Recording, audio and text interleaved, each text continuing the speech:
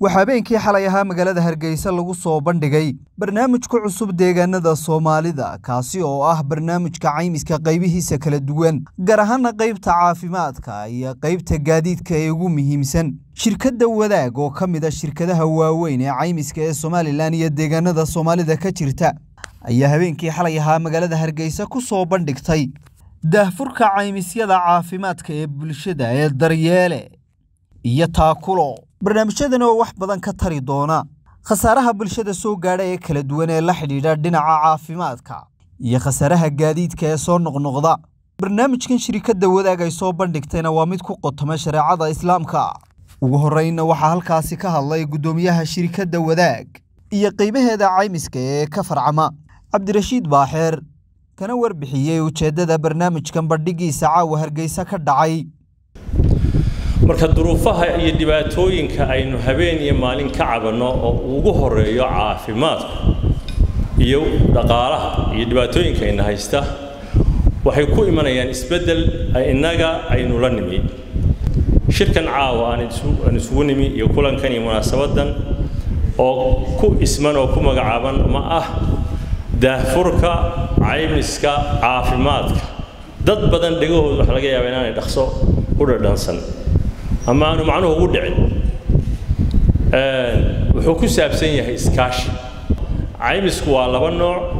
Nooc ay culimmadu ku tilmaantay inaanu bannaanayn oo mucaamaladiisu ay ku dhex jirto qarar ama khiyaano iyo qish oo qofka xuquuqdiisiiya isagoon helin aan waxba uga soo noqonaynin. Iyo mid tacaawuni ah oo bannaan oo culimmadu isku raacsan yihiin zamankan iyo casrigan inuu yahay caymis bannaan oo ku salaysan aayaddaa horeynu sheegnay waxaynu qaadannay oo xeerkeenna maanta labada xeer ee baarlamaanka guurtida somalilandba ay ansixiyeen. Iyo wakiiladuba oo madaxweynuhu seexay dhaqangal gashay laba xeer oo labaduba ku salaysan caymiska shareecada islaamka ogoshahay ee loo yaqaano caymiska tacaawuniga. Intaa kadib waxaa laga yaabaa inaad isweydiinaysaan ama qof walba isweydiiyo muxuu yahay caymiska caafimaadku muxuu ka faa'iidayaa qofka qaata? Maxaan bixinaya maxaan helayaa? Muxuu ka beddelayaa duruufteenna caafimaad ee habeen iyo maalin aynu cabanayno dhibaatadayna haysataa aynu dibadaha ugu dhoofno wax ma ka qabanaya su'aalahaas oo dhan waxaa ugu dambaysa su'aasha ugu muhiimsan ah maxaa ka damaan yaa u damaanad ah bulshada shirkadaha caymiska ee dhaqaalaha ay u dhiibanayaan?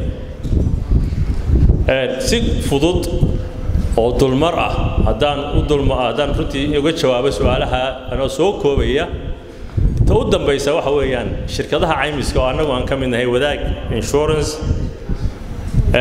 waxaa u damaanad ah dowladda iyo xukuumadda somalilan oo u matalayso hay'adda caymiska qaranka ee siisay laysanka inay ku shaqaysato. Caymisku guud ahaan ama kan aynu qaadanee tacaawuniga ahi wuxuu u dhexeeyaa waxaa u dhexeeyaa ganacsi iyo khayr buu u dhexeeyaa. Waa waxa ay u yaqaanaan social businesska. Wuxuu khayrina ma ah oo sadaqad iyo charity ma ah ganacsi toos ana ma aha waxa weeye wuxuu u dhexeeyaa labadaa marka social business weeye waxaa ilaalinaysa dowladda. Waxaa laga faa'iidaya waxaa laga faa'iidayaa laguma soo koobi karo intan yar halkan taaganahay. Laakiin markaan soo aruuriyo wuxuu suurto doonaa insha allahu tacaala in qof walba oo caymiskaa qaata uu helo adeeg caafimaad oo uu ka warwarbeelo sanadka uu caymiskaa galo inuu jeebka gacanta geliyo labiyo tobanka bilood isagoo bixinaya qadar yar oo haddaynu arqaam iyo nambare ka dhigno uu qofku is odhanaya siday suurtagal ku tahay? In qofku faamiliga dhan marka lacag loo bedelo shan ilaa sagaal doolar wax u dhexeeya shan ilaa siddeed doolar wax u dhexeeya ama sagaal doolar markaanu xisaabinay aanu tira koobnay aanu arqaam u bedelnay ay ku soo beegmayso qofka. Xaggee ka imanaysa? Sawtan markaynu dhakhtarka tagno marka keliya boqolka ama labada boqol ay naga qaado. Waxay ka imanaysaa laba meelood. Waa marka koowaade sanduuqa caafimaadka marka ay bulshadu qaadato iska daa bulshada oo dhane waxaa noo taarget ah one percent boqolkii hal ama laba boqolkii mid keliya haddee one percent hadday qaataan. Waxaanu ku qiyaasnay lix kun oo qoys. Lixdaa kun ee qoys ugu yaraan waa lacag afar milyan oo dollar ku dhow. Dhakhaatiirta heshiiska nala qaata way ka nasanayaan inay beeshankooda weydiiyaan fii si hagar la'aana oo isagiiyo beeshankiisa keliya ay ka wada hadlayaan dawaynta qura ayuu ku shaqaynaya. Labiyo tobanka bilood bil walba waxaa ku jira ayuunbaa dadka lagu dawaynayaa dadkii beeshinka ahaa ama dadkii inshuurankaa galayna marnaba insha allahu tacaala la odhan maayo sanduuqiina wuu idinka dhammaaday. Bisha koowaad ilaa bisha disembar qaybtii uu lahaa bil walba wuu ugu sii jiraya dadku waxay bixinayaan qadar yar waxaana helayaan adeegyo intii caafimaadku lahayd hadday tahay bukaan socodkii intuu yimaado gurigiisa ku noqonayay qofkii la jiifinayey shaybaarkii laga qaadayay oo dhan dhammaystiran umushii hooyada waxaanu samayn doonaa adeegyo dheeraada oo in guryaha loogu tago qofka aan iman karin insha allahu tacaala. Shirkaddu maxay leedahay? Shirkaddu waxay leedahay khidmad keliya lacagta waxa iskale dadka. Inta lagu daweeyo haddii dheeraad ka soo hadho waxay culimmadu isku raacsan yihiin in dadkii lahaa loo celiyo.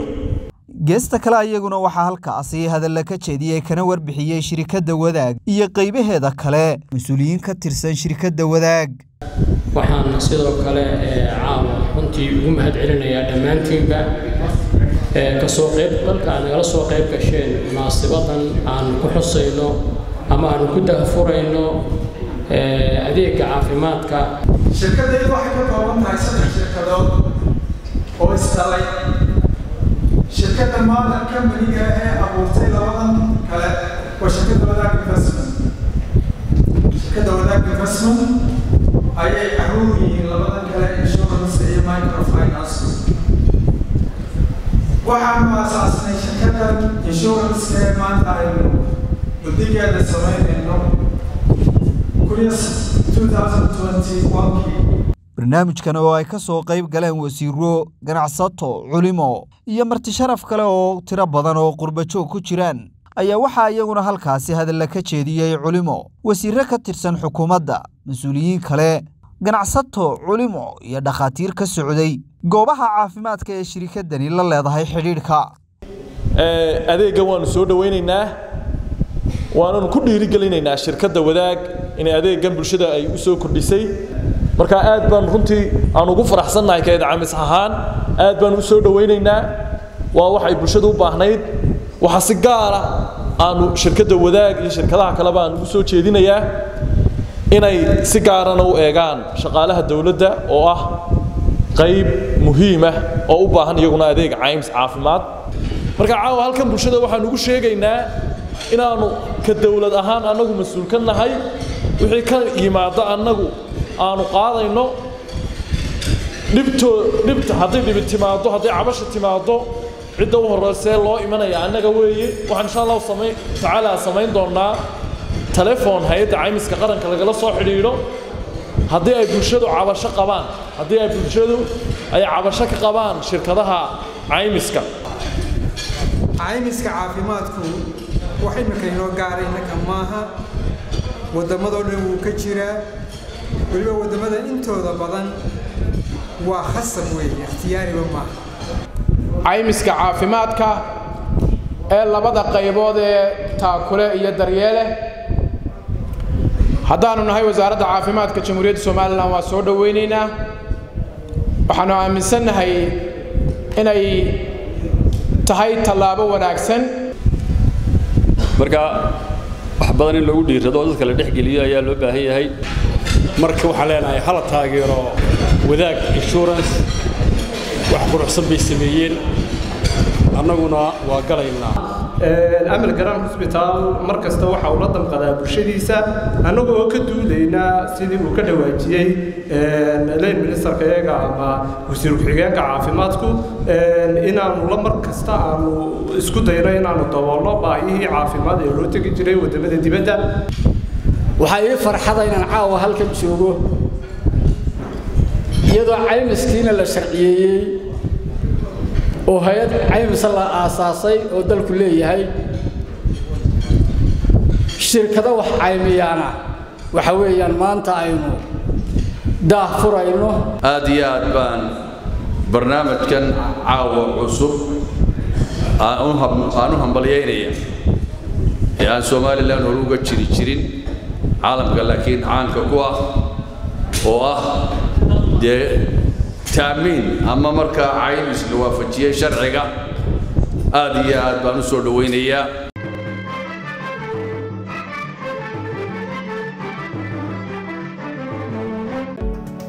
waafi app waa application casri ah oo kaa qabtiraya adeegyada maaliyadeed sida saad sahal efc balas xawaalad taaj bangiga iyo adeega isgaarsiinta oo kuu suurtagelinaya inaad soomaaliya qiimo jaba ku soo wici kartid. Waafi app kala soo deg app storeka ama balay storeka waafi isku xiraha qaranjoogta iyo qurbanjoogta